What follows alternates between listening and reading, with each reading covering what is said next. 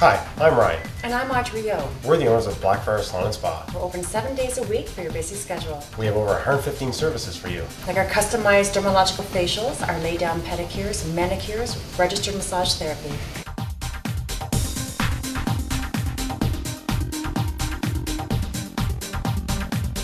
Whether you're coming to pamper yourself or a large group, we accommodate all your needs.